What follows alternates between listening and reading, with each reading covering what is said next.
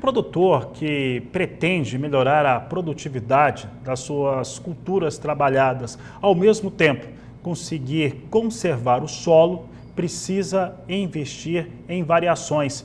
Essas variações significa fazer alternância de culturas a fim de melhorar a saúde do solo. É o que nós vamos acompanhar na reportagem de Mauro Andrade.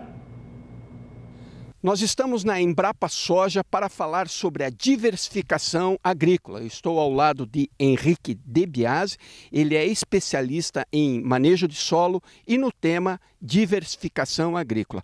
Henrique, satisfação conversar com você.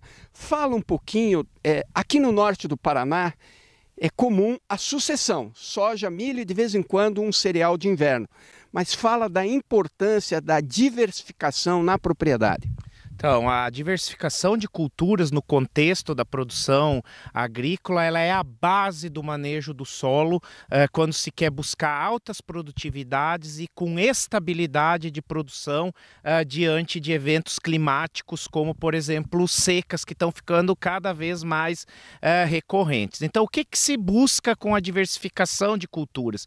Se busca construir um perfil de solo, principalmente físico e biológico, que favoreça o crescimento radicular de todas as culturas comerciais que fazem parte do sistema. Então, quando você coloca uh, ou planeja um sistema de produção uh, mais diversificado, você aumenta a produção de palha e raízes e também a diversidade de espécies. E isso melhora a parte física e biológica do solo, uh, descompacta o solo, gera poros no solo, isso aumenta a infiltração de água, a retenção de água e favorece o crescimento das raízes da soja em profundidade. Nós temos aqui alguns resultados de pesquisa, né, bastante consolidados, são vários anos de pesquisa, mostrando em que um sistema de produção mais diversificado, vou dar um exemplo, não precisa ser algo muito fora do contexto do produtor.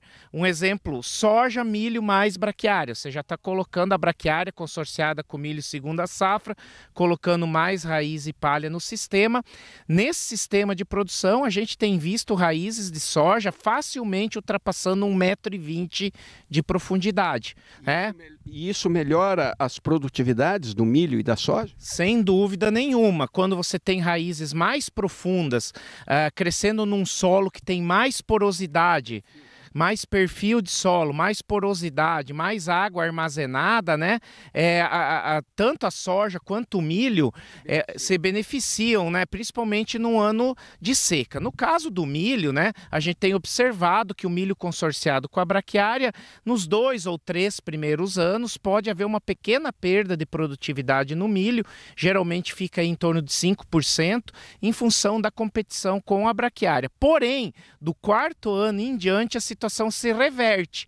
A gente comparando o milho consorciado com o não consorciado, a produtividade se iguala e depois de um determinado tempo até passa a produzir mais. E a soja, em média, produzindo de 10 a 15%. Eu falei a, a mais, né? Eu falei apenas de uma alternativa, que é o milho com a braquiária. Temos outras. O Debiase, uma das questões é o seguinte: quando a gente vai hum, ao produtor, ele diz é, é como é, juntar o aspecto de conservação de solo e ao mesmo tempo o lado econômico, porque o produtor ele pensa em ter produtividade e ter lucro. Como é, juntar essas duas partes? Temos que fazer um sistema de diversificado que seja adequado à condição do, do produtor e que seja flexível às variações do mercado. Se nós tivermos, por exemplo, uma safra onde você tem uma situação extremamente favorável ao milho, como aconteceu algumas safras atrás, né? Por que não investir pesado no milho, mas isso uh, dentro uh, de um contexto de sempre manter na cabeça que logo ali adiante eu vou ter que compensar isso colocando outras plantas. Então, o primeiro passo que nós temos que demistificar é pensar num modelo de produção diversificado, mas que seja flexível.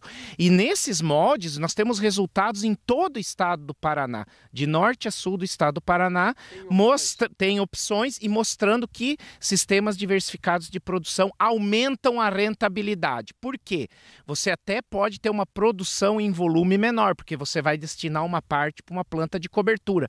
Mas o que você produz a mais na soja, que vem em sequência e a redução das perdas por seca compensa essa área menor cultivada no outono e inverno, por exemplo, com uma espécie uh, de cobertura ou mesmo compensa uma pequena perda de produtividade nos primeiros anos do milho consorciado com a braquiária. Então, todos os sistemas que nós temos testados, eles têm mais lucro. Só que para o produtor ver isso, não adianta ele fazer a conta em uma safra.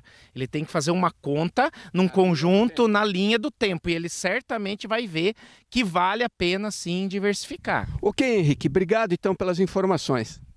É, a gente que agradece a oportunidade, né?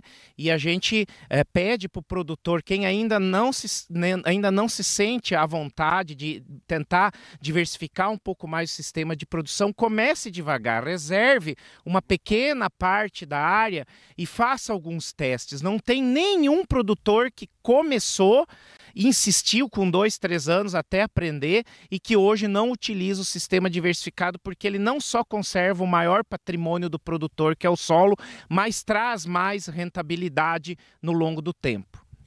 Ok, mais uma vez obrigado. Então dá para perceber que Henrique De Biasi, pesquisador aqui da Embrapa Soja, é um entusiasta do modelo de diversificação agrícola.